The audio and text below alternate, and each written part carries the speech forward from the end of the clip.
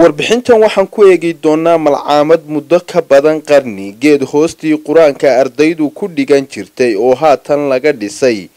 Dhisme iyadoona dhismahaasi loogu magacdaray geed qur'aan oo ah asalka magaca malcaamad ku taala deegaanka birxamar oo u dhexeeya deegaanada jidali iyo yube ee bariga gobolka sanaaga dhismaha malcaamada geed qur'aan waxaa iska kaashaday oo talo ku gaadhay qaar ka mida dadka ardaydoodu muddada dheer. Geedka hoostiisa wax ku baranaysay iyo kuwo hore malcaamadaasi arday uga soo noqday. Qaar ka mida dadka iyagu dadaalka dheer ku bixiyey dhismahaasi ayaa star t v uga warbixiyey sida ay ugu suura gashay arrintaasi. Malcaamada markaan ka warbixiyo sidaana ogahay inkatay geed qur'aan kun sagaal boqol kun laba kun labiyo tobankii ayaa degaanka reer miiga oo dhigta geed qur'aan malcaamadda waxay disteen inay malcaamad dhistaan.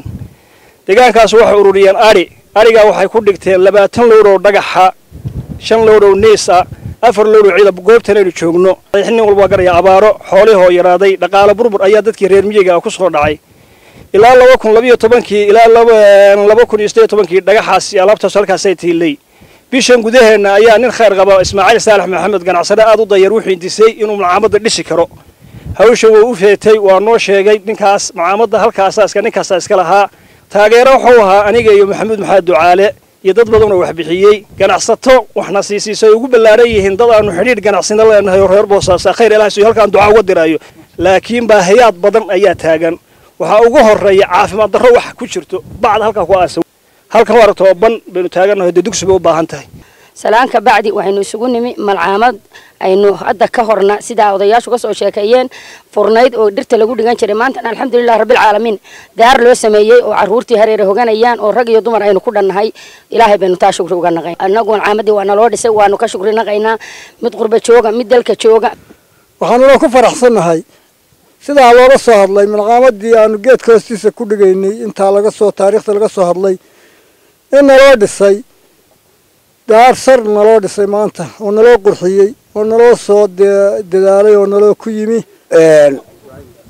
Ragga ka soo shaqeeyey oo dhisay oo lacagtooda geshay waxaan leeyahay mahad baan u celinayaa ismaaciil saalax cabdilqaadir maxamuud maxamed ducaale iyo ragga la shaqaynaya iyaguna mahad gaara bay leeyihiin.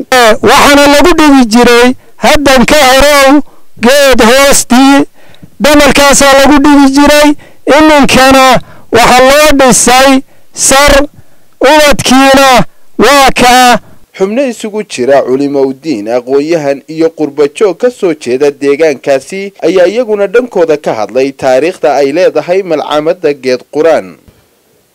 Waxaa farxadii ammaanta inaan waxa weeye halkaydi kala soo qayb galo malcaamadii aan qur'aanka ka bilaabay soddon sanno ka hor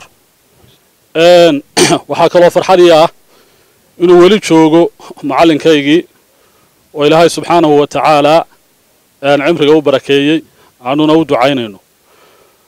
Farxad kale waxaa ii ah yacni malcaamadii aan ku dhigan jiray geedka hoostiisa haddii maanta waxa weeye dhismaha laga dhisay. Mahad celinayaa dadkii soo abaabulay xafladdan quruxda badan iyo intii ka shaqaysay oo inay malcaamadani hirgasho ka soo shaqaysayba ilaahay waxaan leeyahay miisaanka xasanaadka haw saaro. Leeyahay anigu anoo ku hadlaya sidii la sheegay afka qurba joogta wax iyo wixii aanu idinla qaban karro oo aanu arrimaha khayrka ah oo aad balowdeen insha allah waxaanu isku dayeynaa inaannu idin kaabno oo wixii aanu idinla qaban karro oo aad nooga baahataan ee naga codsataan inaanu wax idinkala qabanno. Dadka waxaa lagu baraarujinayaa oo aanu u asaasnay in dadka malcaamadihii loo asaaso.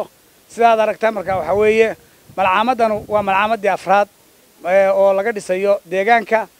Dhudhub baanu ka dhisanaa insha allah damal jabay iyo ceel soorinle tashanaadna wax haddaanu ka qabaqaabinaynaa insha allah wadaayin sidaa daraaddeed waxaan dadka ku baraarujinaynaa inay hawlaha u kacaan oo dadkooda wax baraan. Waa barnaamij aad u wanaagsan malcaamadahaa socda oo walaal siciid oo hadda garab taagan iyo walaalo kale oo qurba joog oo hadda joogta iyo walaalo kale oo reer deegaankaana ay fuliyeen oo ay wadaanna ilaahay subxaana wa tacala waxaanu leenahay boosaska aad hawshaa ka soo saateen. Ilaahay wax ka wanaagsan idinku bedelo. Dadka lacagta ku baxsanayo ajaraadka ku baxsanayaan ilaahay subxana wa tacaala ajir baynu weydiinaynaa inaguna waxaynu isku boorinaynaa in macaamadaha la camiro ismaaciil saalax maxamed oo ah xubin wakhti iyo hanti geliyey sidii isbeddel loogu samayn lahaa malcaamada geed qur'aan ayaa dhankiisa u mahad celiyey cid kastoo gacan ka geysatay isagoona sheegay inay jiraan weli baahiyo kala duwan oo ku gadaaman malcaamada geed qur'aan kuwaasi uu doonayo in wax lagala qabto. Cabdiraxmaan axmed ilsar star t v wararka gobolka sanaag